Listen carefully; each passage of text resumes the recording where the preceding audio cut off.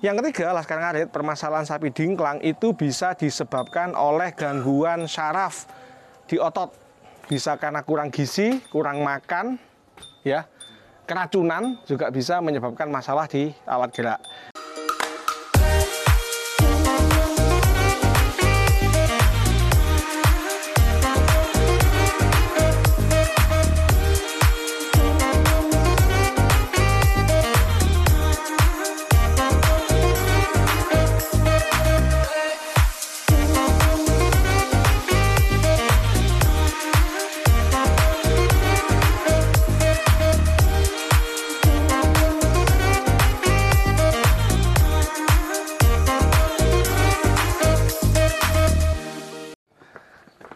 Assalamualaikum. Laskar Ngarit Beras Beras.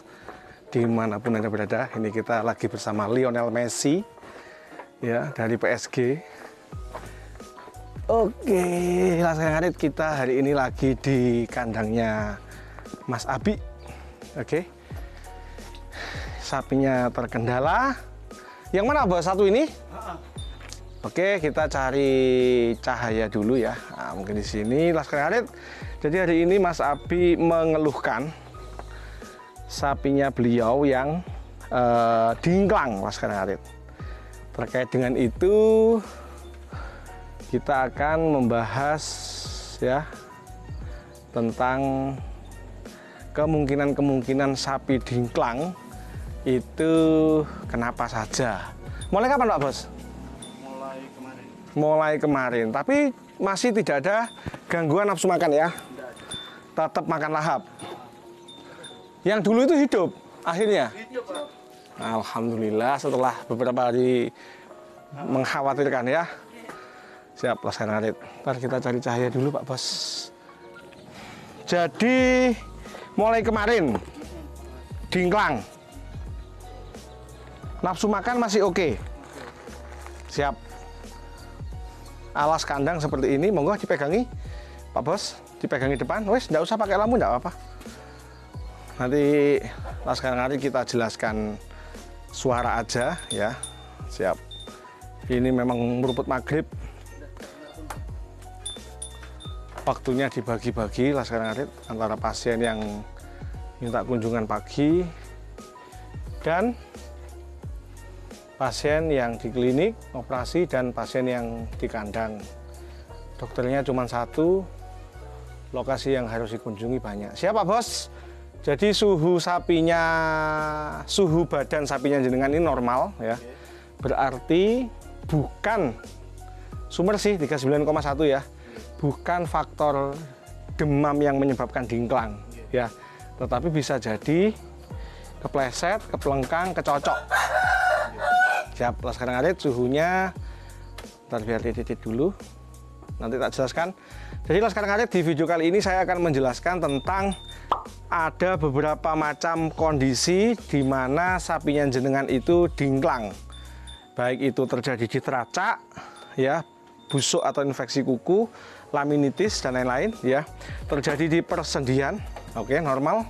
39,4 sumber ya Pak Bos. Saat menikah kayak lah ya 39,4 jadi laskar ngarit sebelum saya menangani sapinya Mas Abi saya sekaligus menjelaskan Pak Bos dingklang itu ada lima kondisi Pak Bos. Kondisi yang pertama masalah di teracak ya kan sekarang lagi rame penyakit mulut dan kuku. Nah itu.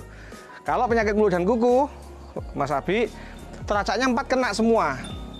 Dan sapi memilih ambruk karena saking sakitnya ya terus moncong itu pasti dia busuk juga. Ngiler-ngiler banyak. Ya itu kalau penyakit mulut dan kuku. Itu yang pertama. Laminitis atau infeksi pada teracak yang sampai ke dalam. Jadi derajatnya bermacam oke? Yang kedua ada istilahnya joint arthritis laskar ngarit infeksi atau radang yang terjadi di persendian. Ini bisa karena kurang kalsium bisa kebentur bisa kepleset Pak Bos ya yang ketiga, laskar ngarit, permasalahan sapi dingklang itu bisa disebabkan oleh gangguan syaraf di otot. Bisa karena kurang gizi, kurang makan, ya. Keracunan juga bisa menyebabkan masalah di alat gerak. Yang keempat, laskar ngarit, dingklang. Wih, gue suaranya apa? Oh, sapi ya. Dingklang itu bisa disebabkan karena sapinya demam Pak Bos. Jadi sapi demam, gejalanya dingklang, dia tertidur, sapinya kakinya tertindih dan menyebabkan dingklang lebih parah lagi. Seperti itulah sekarang. Dan yang terakhir, yang kelima adalah dingklang yang disebabkan oleh komplikasi. Ya kukune bosok, persendiannya kebentur, habis itu kepleset, atau dia demam, mau tidur akhirnya numpu ya persendiannya ada abses seperti itu laskar ngarit. Jadi kesimpulan sapinya Mas Abi ini ada dua kalau tidak laminitis di teracak dia masalahnya ada di joint arthritis atau persendian. Nah kalau misalkan nanti sekali suntik selesai berarti masalahnya ada di persendian. Tapi kalau dia disuntik sempat membaik tapi sikilnya si jinjit-jinjit, tugas jenengan sebagai pemilik rajin nyemproti pakai air dulu aja air ya selang semprot. Jadi jangan sampai ada sesuatu yang melukai teracak. Itu yang bisa dilakukan laskar ngari tapi kalau belum sembuh juga nyari formalin diencerkan 3 sampai 4 persen. Setiap pagi sore jenengan semprot ke di bagian kuku atau selangkangan kuku. Laskar ngarit. Siap? Jadi saya mohon izin untuk menterapi dulu. Jadi gini laskar ngarit biasanya kalau demam itu disebabkan oleh ya sorry dingklang ini disebabkan oleh demam biasanya dia tidak mau makan. Terus nafasnya ngos-ngosan. Nah terus dia tubuhnya dada kayak gitu. Jadi karena dia masih mau makan kemungkinan masalahnya ada di teracak ada luka. Mumpung belum parah mumpung belum ambruk dan mumpung belum busuk maka kita harus melakukan pengobatan. Siap Pak Bos? Kita persiapkan obatnya. Oke siap Siap Laskar Ngarit, sudah kita beri penanganan. Yang pertama adalah anti radang yang sangat kuat. Jadi begitu ada muncul radang, entah itu di persendian, entah itu di teracak, itu langsung diatasi oleh injeksi yang pertama, yang paha sebelah kanan Pak Bos. Nah ini dokternya di sini. Ya sapi ini sekolah kok. Nah, Eh pas lambe ki, Laskar Ngarit, silete sapi ini pas lambe ki. Oke, jadi yang injeksi pertama Pak Bos itu anti radang yang sangat kuat ya. Dia mengatasi osteoartritis persendian, radang persendian termasuk bila ada luka di teracak ya, tidak menimbulkan dingklang. Nah, rasa sakit eh, injeksi yang kedua ini yang kadang rodok jarum, rodok linu, paha sebelah kiri, satu kilan di bawahnya anus itu bisa ditinju ya. Kalau misalkan dia ketok jarum diuyak-uyak aja. Siap, Mas kameramen? Mohon maaf kalau gelap ya. Hari ini kita didampingi oleh kameramen amatir ya, Mas Wasil.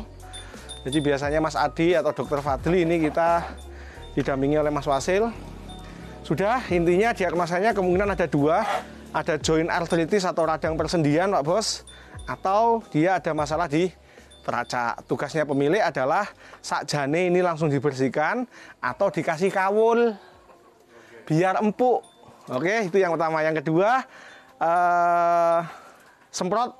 Jadi harus sambil rajin ya dibersihkan, disemprot pakai selang. Saya dipastikan kalau ada kayak misalkan tanah, kayu, rumput yang melukai di teracak itu dia bisa segera hilang. Jadi obatnya bekerja, yang dilukai itu dia dibersihkan agar segera pulih. Terus nanti sekarang hari Selasa, Rabu, Kamis dengan ngasih laporan misalkan sudah fit berarti total sembuh. Misalkan belum fit hari Kamis atau Jumat bisa diulang. Siap lah sekarang ngaret lemah teles Gusti Allah yang balas sampun maghrib.